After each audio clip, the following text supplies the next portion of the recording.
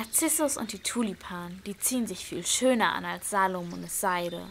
Die Lerche schwingt sich in die Luft, das Täublein fliegt aus seiner Kluft und macht sich in die Wälder.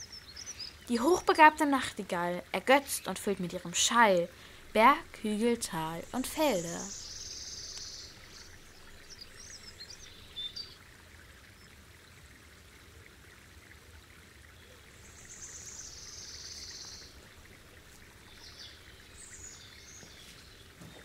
Hallo Hans Michel, du Frechdachs. Statt mir noch mehr Blumen für meinen Kranz zu bringen, erschrickst du mich. Oh, Romai, ist der, ist der Kranz denn nicht viel zu groß für dich? Oder ist er etwa für mich gedacht? Noch mehr Blumen soll ich dir pflücken? Ja klar, aber ich weiß, dazu hast du keine Lust. Du bist ein Tagedieb, Michel, weißt nichts mit dir anzufangen. Dabei bist du doch so groß und stark wie ein Bär. Spottest auch noch. Ich wollte den Fuchs beschleichen.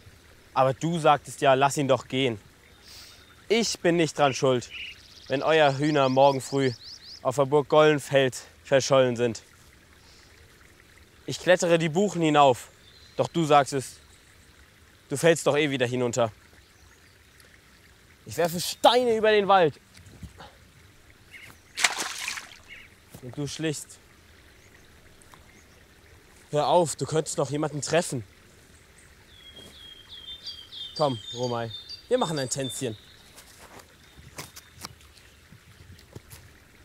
Hör auf, Michel, es dreht sich schon alles. Gut, dann drehen wir es eben zurück.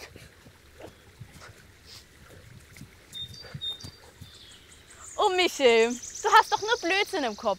Warte nur, wenn du an die Hohe Schule von Heidelberg kommst, dann nennen sie dich einen Wilden. Kennst doch nichts anderes als unser Güldenbachtal. Pah.